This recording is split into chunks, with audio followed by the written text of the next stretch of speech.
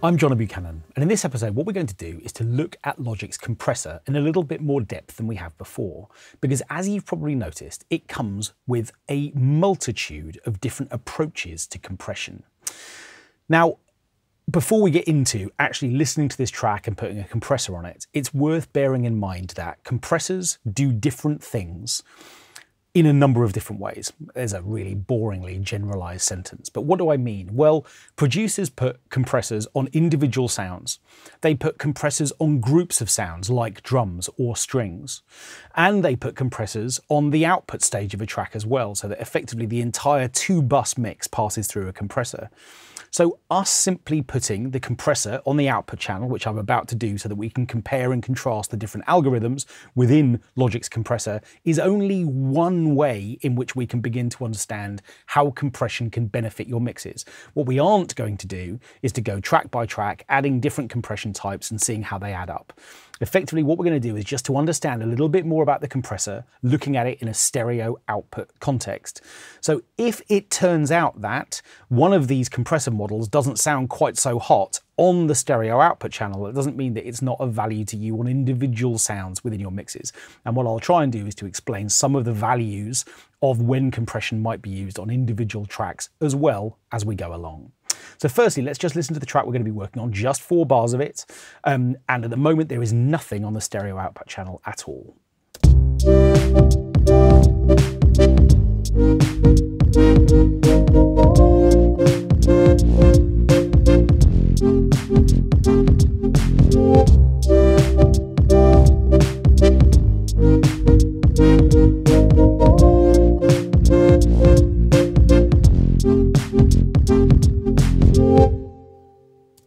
Such a handy way to turn four bars into eight. Just let it play twice. Okay, so what we're going to do is to come down to the stereo output channel and within the dynamics folder, I'm going to find the compressor and here it is. And we are greeted with Logic's own version of compression in what's referred to as the Platinum Digital algorithm.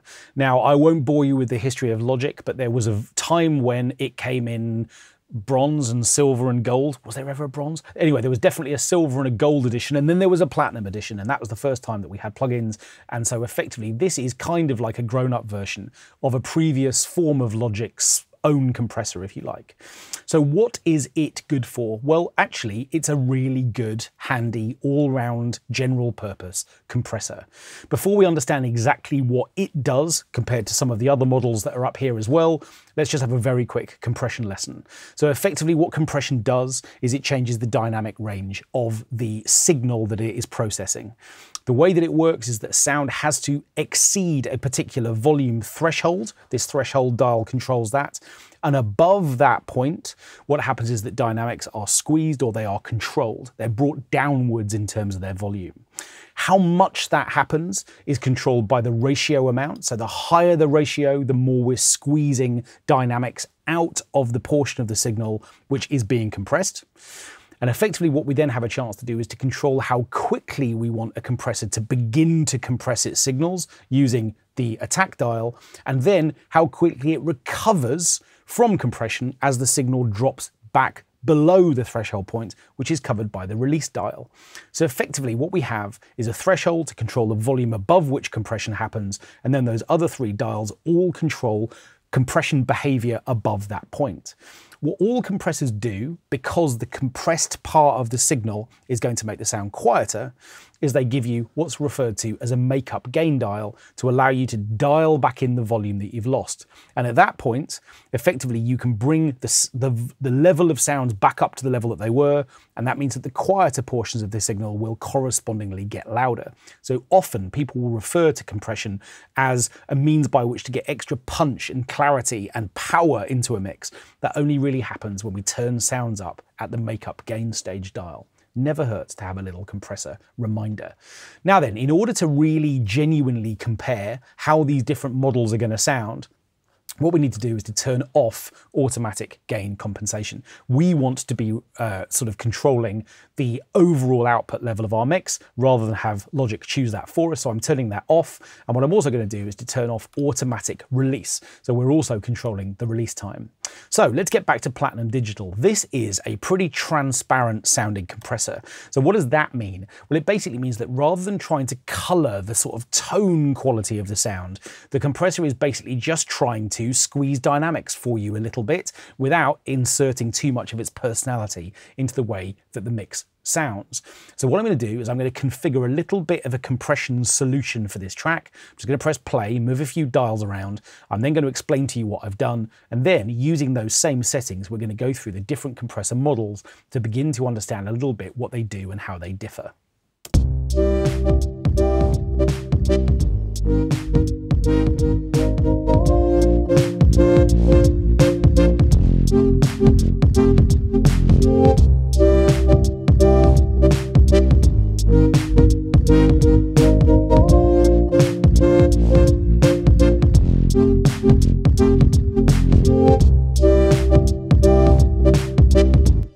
Okay, so what I've done here is I have set up the compressor so that very roughly, we are sort of attenuating or reducing the volume by about 5 decibels. Because of where I've put the threshold point, we can see that the gain reduction needle is peaking at around minus 5, which means that we're losing up to 5 decibels of volume, depending on how loud the signal is that's coming in at any given time. I've set a ratio control, which is just around sort of 3 to 1, a little bit less, 2.8 to 1, so that we are able to hear the amount of dynamics that are being reduced without it going absolutely crazy. We're not pushing that too hard. I've set a makeup gain amounts to compensate for the volume that we're losing, that sort of 5 dB mark. But what I've done on purpose is to set relatively quick attack and release times so we can really hear how the compressor responds, how quickly it begins to compress signals and also giving it time to sort of recover quickly as well so that we're really getting a sense of what the compressor sounds like as it goes through its various stages of compression. Now for a more natural compression response I might increase the release time but what I actually want to do here is to have us really be able to hear the way that the compressor is behaving and so as a result I've set quick attack and release times. So what we've got is a relatively transparent compression process here whereby we're not getting a massive amount of tone change. What I'm going to do is to turn the compressor off. We'll punch it in after two bars. So here is no compression, then at bar four, I'll put it back in.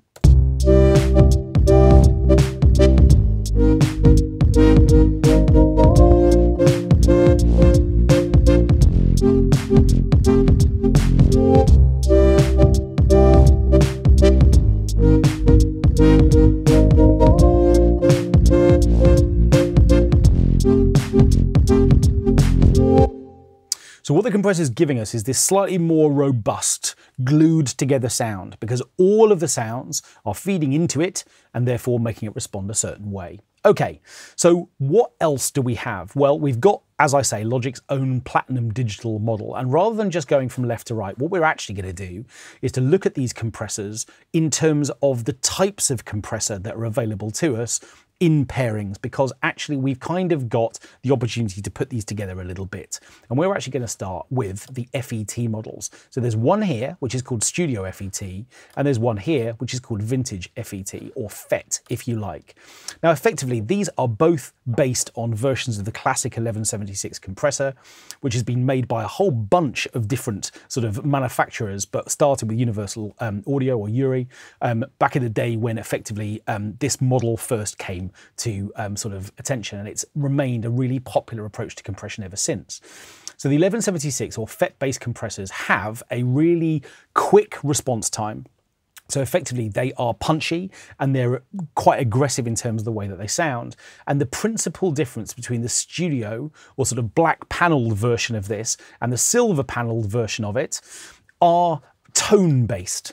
So effectively what we're about to discover between these two settings is actually pretty extreme. We're going to start here and we're going to find that I haven't touched any of these dials by the way. This is just the difference between the way that Platinum Digital and to start with the Studio FET model sound. We're going to end up with a much richer, bigger sound that has just got a bit of tone change in there as well as dynamics change.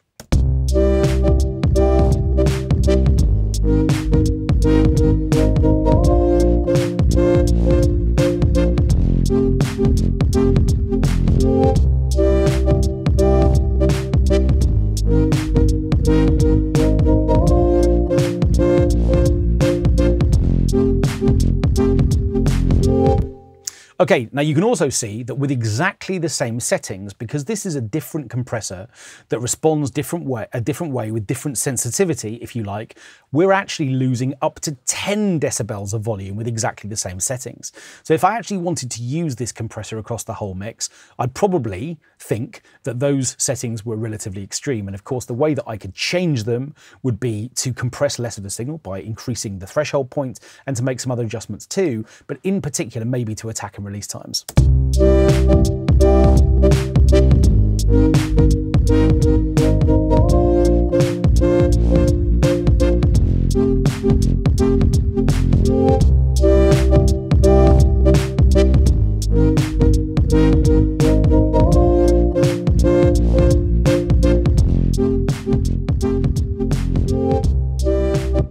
And you can really see how what a difference that makes, changing the release time in particular, because the compressor doesn't have a chance to completely recover before the next bit of signal comes along to start the compression process all over again.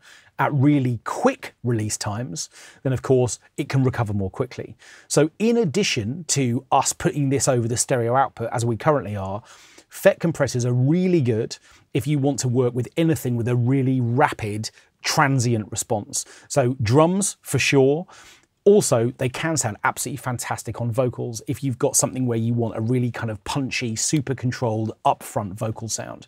Okay, so let's compare that with the vintage FET model. Now this is going to in particular change the way that we hear the kind of mid-range, if you like, of this sound.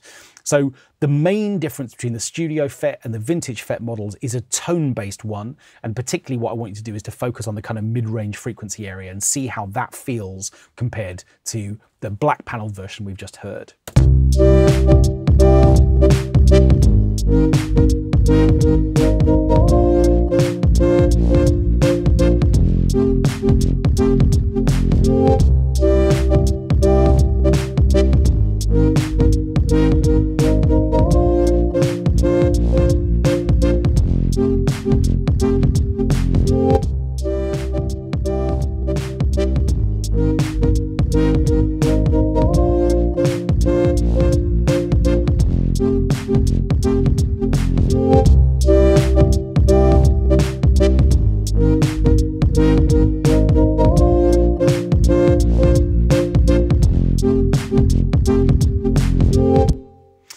See that I'm having to make adjustments really sort of in real time almost to the threshold point just to make sure that we've got the same amount of gain reduction. But you can also hear that there's a big tonal difference between these two FET models. So even though they're based both on 1176 kind of um, circuits and different eras of that, what we're getting is a different tonal shape as a result. So let's move on to the VCAs. Now the VCAs have an opportunity to be both really quick responding and slower responding than the FET models. Effectively, this one is based very much on a kind of Focusrite red uh, compression approach. You can see from the design, you only have to go and look at that online to see that. I don't think I'm really um, sort of revealing too many secrets there. The knob design, the color, all of it, very much based on that sort of a shape. So what we've got here is a um, compression type, which can be very upfront and punchy. VCAs can absolutely be that. But if we back attack times and release times down, we're going to end up with something which is just a little bit less in your face than the FET models. Let's have a listen again. Let's just configure some settings that feel like they're responding naturally to the contours of this track.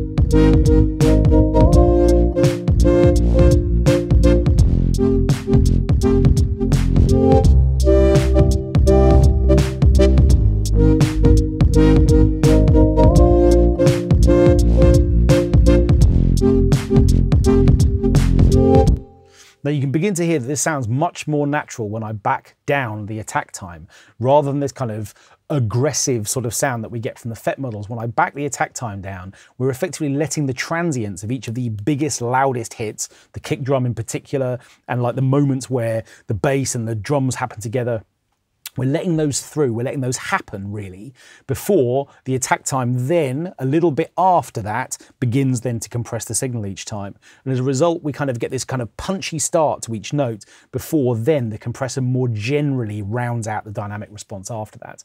So the Studio VCA is again more transparent than the FET models, but it's certainly really again knitting the mix together really nicely. Okay, let's move on to the next one. So this is very much based on a um, DBX 160 model standard of um, sort of VCA compressor. And you'll see conspicuous by their absence are the attack and release dials. We don't get those because they didn't exist on that compressor. So effectively what we've got is instead a relationship between threshold and ratio and makeup gain dials to allow us to kind of configure a response. Now, again, this is a compressor that works incredibly well on drums. It's a sort of classic, quite sort of spanky sounding compressor, but what it's going to do is just give us, well, a lot of energy.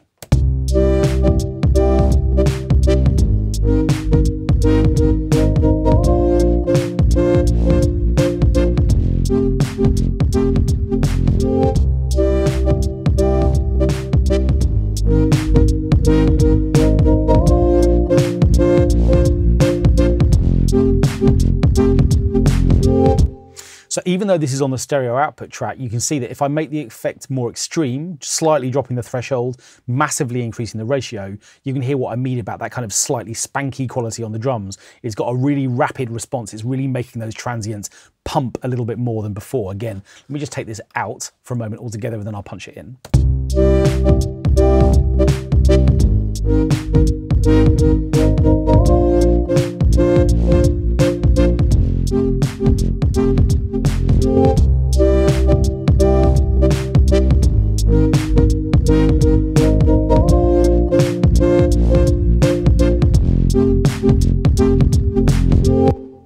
Okay, so you can really hear, I hope, what I'm talking about there. Okay, let's move on to the vintage VCA. So this is based very much on um, the SSL G-Bus compressor, one of the most famous kind of stereo bus compressors of all time. Um, and um, it's, yeah, it's, it's legendary, basically, simple as that. So again, what we've got here is an opportunity. This kind of compressor is sort of famous for kind of gluing mixes together. It's a, a, cliche for me to say out loud, but it's absolutely true that effectively its job was to just make all of the component parts of a mix come together as naturally as possible and just to give a sense of overall glue. Now these settings, I'm going to just back them down to something which is a bit less extreme, back more or less to where we were when we were looking at the Studio FET and the Vintage FET. Um, so effectively what we've got a chance to do is again, just see whether or not we can kind of knit things together and make things feel a little bit more natural.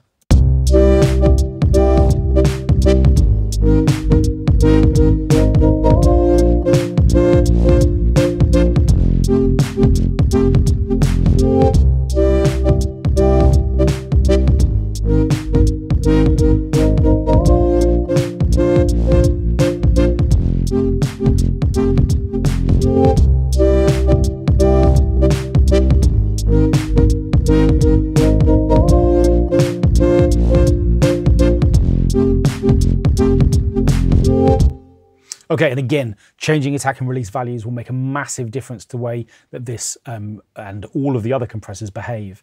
But you can just begin to hear that there is just a kind of cohesion when we punch in the compression, uh, the, the compression. I said it like Sean Connery. Okay, the compression. Okay, um, the compressor settings, when we start to um, just introduce um, compression, we just get the whole mix just feeling a little bit tighter and like the whole thing's being controlled a little bit more. Okay, and that brings us then to the vintage Model. So this is based on the LA2. This is, again, a fantastic compressor, very good for mixed buses as we are currently using it. In other words, on the two bus across the whole mix.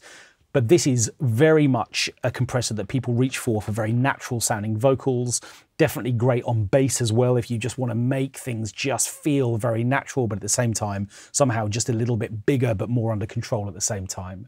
So this again is a different type of approach. So this is an opto compressor and it sounds like this.